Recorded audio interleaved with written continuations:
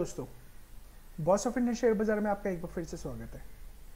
आज हम बात करने वाले हैं रूट मोबाइल आईपीओ से रिलेटेड ओके जैसे कि आपको आज पता ही है सेकंड डे था रूट मोबाइल आईपीओ में आपको अप्लाई करने का। तो कल एक का third and the last day है ओके ग्यारह तारीख। जो इसकी लास्ट डेट है अप्लाई करने के लिए। तो इससे रिलेटेड हम कुछ बातें कर लेते हैं कि क्या इसका चल रहा है, क्या आपको अप्लाई करना चाहिए, कितना लोगों ने अभी तक अप्लाई किया है, कितना नहीं किया है। ओके क्या लोग अभी भी इसमें काफ़ी बुलिश है लाइक हैप्पीएस्ट माइंड आईपीओ की तरह। तो आइए सारी इन्फॉर्मेशन जानते हैं। तो वीडियो में आगे बढ़ने बढ़ने से पहले फिर एक बार रिक्वेस्ट करना चाहूँगा। कि आप हमारे channel Boss of Indian Share Bazaar को सब्सक्राइब करिए शेयर करिए, दोस्तों के साथ फ्रेंड्स के साथ, ताकि आपके रिलेटिव्स के साथ, ताकि आपको इस तरीके की बेहतरीन इन्फॉर्मेशन और शेयर बाज़ार से रिलेटेड मिलती रहे। तो आइए सीधे आईपीओ की तरफ़ हम इंफॉर्मेशन की तरफ़ चलते हैं। तो जैसे कि आपको पता ही है कि आज न्यूज़ आई है, आज सेकंड डे था तो Route Mobile IPO subscribe four times on day two तो एनडीटीवी ने बताया कि फोर टाइम्स ये सब्सक्राइब हो चुका है, आज दूसरा दिन था तो इस आज सब्सक्राइब हो चुका है। तो आइए देखते हैं इसके इन्फॉर्मेशन जान लेते हैं क्या है, क्या नहीं है। ऑलरेडी मैंने यहाँ पर कल वीडियो बनाई थी। मॉर्निंग में ही वीडियो मैंने अपलोड करी है। उसमें मैंने मोस्टली सारी इन्फॉर्मेशन रूट मोबाइल से रिलेटेड दे दी है। फिर भी मैं एक बार रिपीट कर देता हूँ कि रूट मोबाइल ओ जो आपके ओ जो आपके मोबाइल में आते हैं ओके एज वेल एज आपको अलग अलग ईमेल्स आते हैं जिससे आप परेशान हो जाते हैं या फिर ओ आते हैं मैसेजेस आते हैं okay even O T T जो ओ टी टी प्लेटफॉर्म है लाइक अमेजोन और नेटफ्लिक्स जी फाइव अलग अलग जो प्लेटफॉर्म हैं, उन्हें भी ये अपनी सर्विस प्रोवाइड करती है।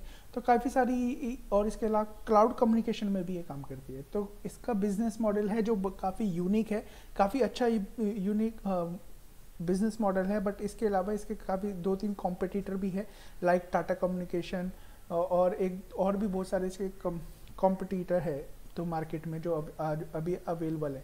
तो जैसे कि आपको पता ही है कि इसका आईपीओ का सेकेंड डे था तो आइए इससे रिलेटेड कुछ बातें कर लेते तो बताना चाहता हूँ कि अप्लाई करने का जो डेट था नाइन सेप्टेम्बर टू से ग्यारह ओके ग्यारह तारीख था मॉडिफिकेशन के लिए अलग से डेट दे रखी है ओके कट ऑफ़ तो कल लास्ट दिन है तो मैं आपसे चाहूँगा कि 12 बजे तक या 12 बजे से पहले आप इसे, आप कर लीजिए इसे अप्लाई ओके अगर आपको अप्लाई करना है तो।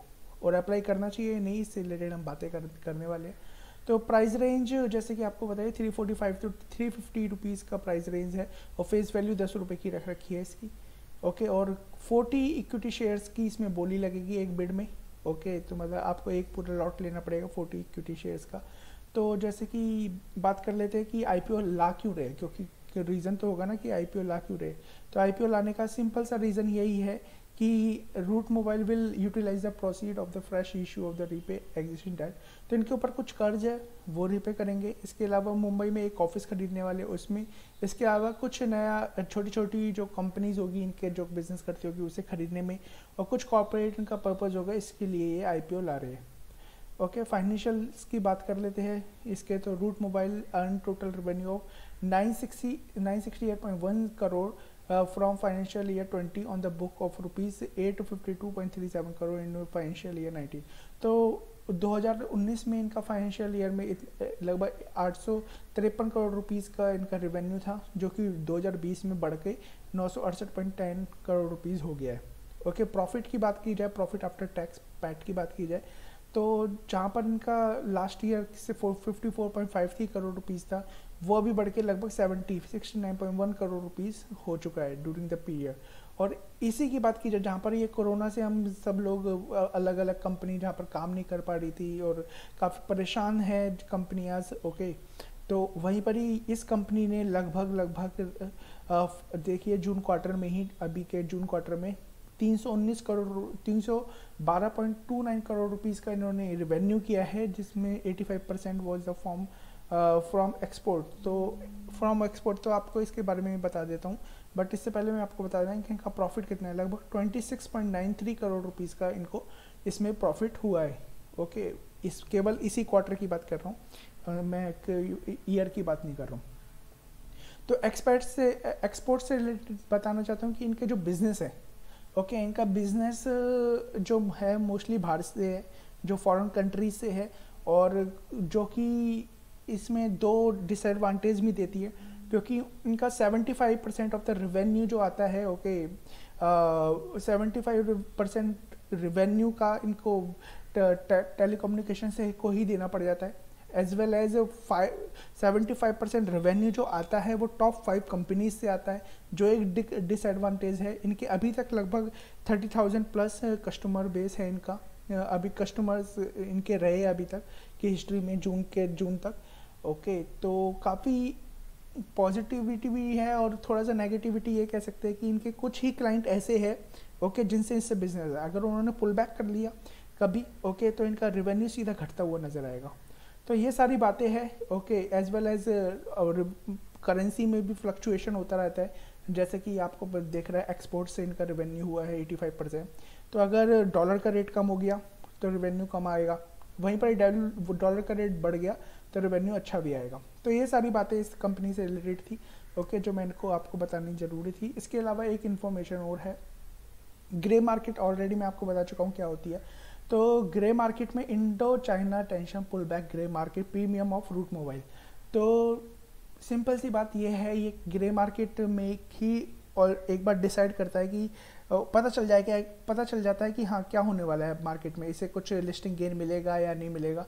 तो ट्वेंटी फ़र्स्ट मार्च को इसको लिस्ट होगा जैसे ही ये तो मिल पाएगा या नहीं? तो इसमें ग्रे मार्केट ने पुल बैक कर लिया है ग्रे मार्केट ने अपने हाथ खींच लिए, ओके, और कह दिया है कि भाई हाँ ये इंडो इंडो चाइना जो टेंशन चल रही है ओके इसके प्रीमियम में शायद कुछ फ़र्क पड़े। पहले सो हो रहा था कि thirty to thirty five percent तक का इसमें लिस्टिंग गेन मिल जाएगा बट अभी सुनने में आ रहा है कि केवल टेन टू फिफ्टीन परसेंट ही इसको लिस्टिंग गेन मिले ओके और ये देखना हमें, जल्द ही हमें पता चल जाएगा। तो आइए न्यूज़ भी पढ़ लेते एक बार। तो यहाँ पर अभय जोशी ओके एक गुजरात बेस्ड इंडिपेंडेंट डीलर है of unlisted share unlisted share मतलब जो ग्रे मार्केट है ओके सेट द जो ये चाइना इंडिया का फेस ऑफ़ चल रहा है lead uncertainty in the market okay leading the premium stability at current level however the primary market is still fencing the issue he said the ipo is worth investing for listing gain as well as long term holding तो देखो अगर long term के लिए चल लेना है तो आप ले सकते हो। और इसमें थोड़ा सा खतरा भी है क्योंकि आ, अगर कुछ नेगेटिव हो जाती है क्योंकि अभी 11 तारीख को ये बंद हो जाएगा 21 को लिस्ट होगा 10 डेज़ का गैप है। अगर कुछ नेगेटिविटी होता है तो मार्केट में ये आपको लिस्टिंग गेन भी शायद ना मिले like S B I card IPO में हुआ था मैंने उसके रिलेटेड वीडियो बना रखी है तो आप जाके एक बार देख सकते हैं। S B I card I P O versus Rossari Biotech I P O तो उसे भी देख सकते हैं उससे आपको एक अंदाज़ा मिल जाएगा कि क्या हुआ है क्या नहीं हुआ है और क्या हो सकता है। तो यही सारी बातें थी तो इस रीज़न से। बट अगर लॉन्ग टर्म का प्रोविज़न रखते तो कह रहे हैं काफ़ी लोग कह रहे हैं कि लॉन्ग टर्म में काफ़ी अच्छा गेन ये दे सकता है ओके तो वर्थ इन्वेस्टिंग हो सकती है। तो अगर खतरों के खिलाड़ियों के लिए कह सकते हैं कि ये शेयर ये आईपीओ में अप्लाई करना हो जाएगा। तो अगर आप खतरों के खिलाड़ी है, अगर आप तो रिस्क ले सकते हैं ओके टेन डेज़ में क्योंकि कुछ भी हो सकता है तो आप इस आईपीओ के लिए ज़रूर जा सकते हैं रूट मोबाइल आपको बताना चाहता हूँ कि क्यूआईबी जो फिफ्टी परसेंट जिनके लिए रखा गया था तो उन्होंने कुछ ज़्यादा अभी तक सेकेंड डे में कुछ दिखाया नहीं है बट हाँ आपको बताना चाहता हूँ कि बहुत जल्दी, कल के दिन में ही मतलब कल के दिन में ही क्यू आई बी और बड़े बड़े नॉन इंस्टीट्यूशन इन्वेस्टर्स होते हैं, वो कल के दिन ही लास्ट डे पे ही इन्वेस्ट करते हैं अप्लाई करते हैं आई में। तो कल के दिन शायद जब जब ये न्यूज़ आएगी, जब ये फिगर चेंज होते हुए नज़र आएगा, तब आपको पता चलेगी। तो अभी कुछ खास उन्होंने अप्लाई नहीं किया है, उनका मूड अभी दिख नहीं रहा है बट कल के दिन में आपको दिख जाएगा। सो दैट्स इज़ दोस्तों, अगर आपको वीडियो अच्छा लगा हो इन्फॉर्मेशन अच्छी लगी हो तो इस वीडियो को लाइक करिए कमेंट करिए शेयर करिए अपने दोस्तों के साथ एज वेल एज इसमें इन्वेस्ट करना है कि नहीं, मैंने ऑलरेडी आपको सब बता दिया है, इसकी negativity as well as positive part okay और हाँ अगर वीडियो इन्फॉर्मेशन अच्छी लगी हो तो हमारे चैनल को भी बॉस ऑफ़ फाइनेंशियल बाज़ार को सब्सक्राइब करिए। शेयर करिए दोस्तों के साथ, अपने फ्रेंड के साथ फैमिली के साथ, ताकि इस तरीके की बेहतरीन information as well as share बाज़ार से रिलेटेड इन्फॉर्मेशन आपको मिलती रहे। Thank you so much God bless